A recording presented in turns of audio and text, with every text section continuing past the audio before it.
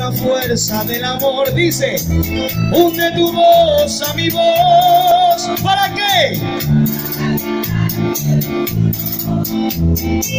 Y si es pecado el amor, que el cielo dé explicación, porque es mandato divino y que viva el amor. Si está ahí con su ser querido, denle un abrazo y dígale, Dios gracias por eh, para arriba.